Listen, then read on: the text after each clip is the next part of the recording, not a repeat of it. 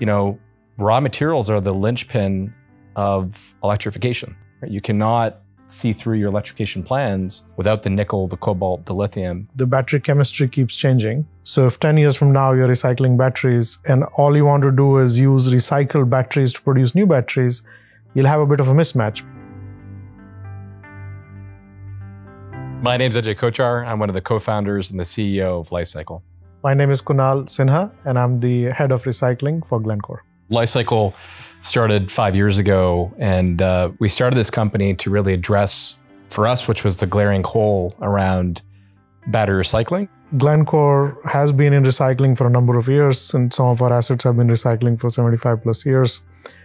We've also been uh, a very large recycler of battery metals. I think the partnership with Li-Cycle is fairly unique, and what it really allows us to do is is effectively at scale, you know, close the loop um, for the OEMs, for battery manufacturers, uh, and just in general the industry uh, as a whole.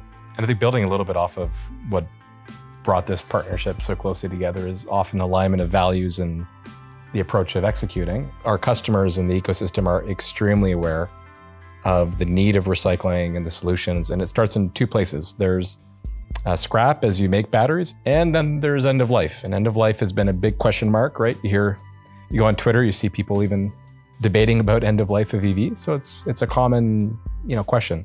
The way we look at it is at the end of the day, if you work backwards from net zero and you say electrification is very important, EVs are very important, and you want to make sure EVs don't get bottlenecked in their ramp up, then raw material is a is a concern. At the same time, you have within North America and Europe, you have this desire uh, in a supply chain disrupted world and to other factors to create localized supply chains. So what this deal does is we are looking to combine a primary source of battery raw materials with a recycled source of battery raw materials at scale. And we hope to be able to do it in key regions locally. So if you want to solve the net zero challenge as fast as possible, to be practical, you have to combine the primary and the recycled. This is a once in a generation opportunity, right? This is the first time this industry is being built in North America and Europe, and we have to create solutions. And that's what this partnership's all about. It's how to practically create solutions that ultimately get to that objective of net zero.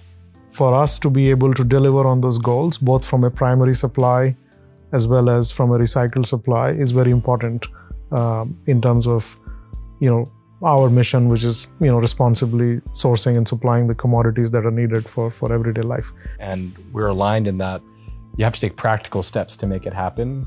Incrementally, gradually, it takes new technology, but that won't all happen overnight, right? And I think that's always been the Li-Cycle philosophy: is executing step by step, practically creating solutions, and then moving towards that larger objective. And we think that's very important because it meets many objectives from an OEM and a battery manufacturer perspective, whether it be guarantees of origin, minimum recycled content, or reducing supply chain disruptions by shortening supply chains.